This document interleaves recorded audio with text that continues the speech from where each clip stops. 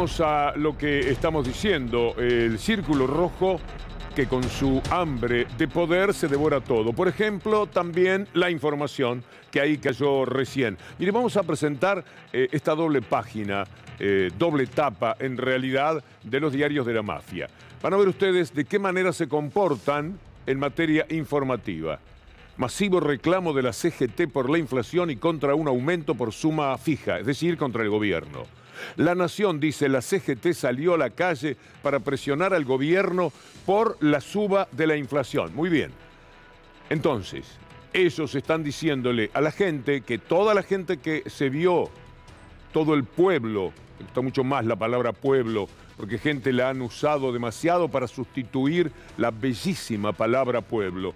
Bueno, quienes estaban allí en la Plaza de Mayo, en el Congreso, caminando por Buenos Aires, estaban contra el gobierno. Caramba, se perdieron a uno de los líderes de esa convocatoria, que es Pablo Moyano, en el momento en que decía esto. Ratificar lo que se dijo el 26 de julio en la marcha de las antorchas, defender, mejor dicho, denunciar a esta manga de delincuentes que son los empresarios nucleados en AEA, que es la Asociación de Empresarios Argentinos, donde están los empresarios que hoy remarcan los precios están los medios de comunicación, está Mercado Libre, está la Asociación de Bancos que hoy son los que quieren llevar un golpe institucional al gobierno. No va a ser la primera marcha si estos tipos siguen sacándole un plato de comida a los argentinos, si le siguen cagando los salarios argentinos. No va a ser la primera marcha, va a haber cientos de marchas para denunciar a estos tipos. Podemos poner las tapas otra vez porque no me diga que no es curioso. Que se animen. Todo esto se vio, eh, esto lo pasó uno de los canales, en ese momento nosotros no estábamos allí, eh, pero se pudo apreciar, se pudo recoger, es un testimonio que después podía ir a los noticieros, etcétera eh, por la inflación y contra un aumento de suma fija. No, era contra los que empujan la inflación, contra los empresarios, contra la AEA, e que son ellos mismos. Clarín la preside. La Nación dice que la CGT salió a la calle para presionar al gobierno, salió para defenderlo. Esto es lo que estaban diciendo, de los empresarios que se roban de las silobolsas para sacarlo de contrabando, de los empresarios que remarcan todos los días, de los que aumentan los precios. Claramente lo dijeron. Pero ellos tergiversan, le llegan al 90% más de la gente y en consecuencia muchos pensarán, mira el reclamo que le hicieron los trabajadores al gobierno. Mire cómo cubrían vamos a hacerlo con un paño, ni siquiera vale la pena escucharlo, pero ellos todo el tiempo jugaron con la ciudad imposible. La ciudad imposible, el caos. El caos, la ciudad imposible. No se puede transitar en la ciudad de Buenos Aires. Subieron una chica que lloraba, que quería ver a su hermana en el hospital, y la llevaron ellos todo el tiempo haciéndole una nota. Bueno, esta es la manera de cubrir. No importaba, quizás por eso no se enteraron de por qué era la marcha.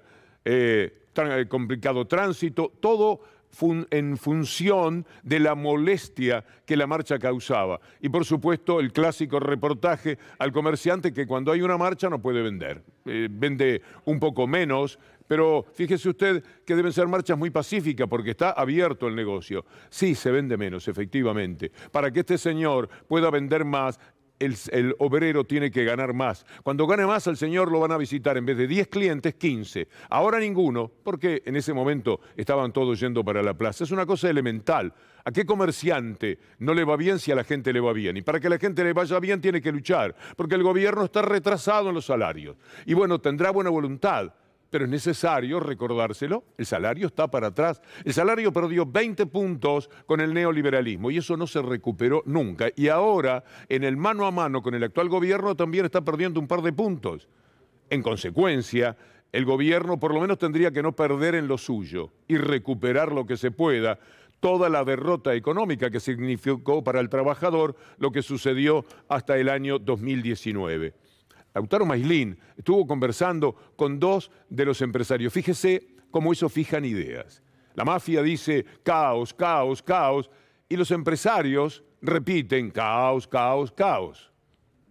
¿Qué interpretación hace de la movilización del día de ayer de la CGT y de la CTA? Que pararon todo el tráfico, todo el centro, que todos los negocios a 9 de julio tuvieron que cerrar, que impiden trabajar, que impiden decir, me parece bien que la gente se manifieste, está en la Constitución, lo que pasa es que tienen que permitir también que la gente pueda transitar y pueda trabajar. Queremos que se respete el derecho de los que quieren transitar para poder ir a trabajar o a donde quieran y eso está estipulado en el artículo 14. Y eso lamentablemente en la Argentina no se respeta. Le dio pena a todos los negocios de la 9 de julio cerrados, los gastronómicos, yo me fijo en los bares, todos tuvieron que bajar la persiana. ¿Qué interpretación hace de una de las consignas del día de ayer que era en contra de los especuladores, en contra de los formadores de precios, hay un mensaje a, un sector del empresariado. Yo no lo siento eso, es decir, no creo que los empresarios seamos formadores de precios, somos uno en la cadena, pero el Estado también está como formador de precios. Ellos dicen que estaba todo cerrado, viste, este señor que me sacó el vicio del café, pasé a otra, a otra rama. Eh, dice que estaba todo cerrado. Las notas que hacía la mafia eran todas adentro de los locales mostrando que el local estaba vacío, eso sí, que era el objetivo. Ya se van a llenar los locales si la gente gana lo que corresponde. Si todos tienen trabajo, como la mayoría inmensa lo está teniendo en estos momentos, si efectivamente la remuneración alcanza ciertas necesidades que en estos momentos no son satisfechas. Los supermercados de una manera extraña están vendiendo como nunca. Esas cosas un poco raras, a contramano, que sucede. Eh, un día que tienen que cerrar, dos días, a veces cinco días, se dan situaciones conflictivas en la sociedad cuando una parte del pueblo tiene que luchar para que le vaya mejor. Y cuando le va mejor, va a gastar a esos negocios exactamente a ese tipo de negocios. Pero no es verdad lo que dice el tal Cabrales, ¿eh? no es verdad que estaba todo cerrado. Le acabamos de mostrar una de las notas con el negocio abierto y todas las notas que se veían durante la tarde eran entrando a los negocios con la gente adentro quejándose, el que vendía zapatos, el que vendía esto y lo otro. Efectivamente tenían un problema, lo tienen. Eso será recompensado cuando el pueblo esté mejor preparado desde el punto de vista económico y pueda ir a esos lugares. En realidad se lucha también por ellos, que miran pasar y ese día se enojan y un poco pierden pero se está luchando por ello, porque cuando hay recuperación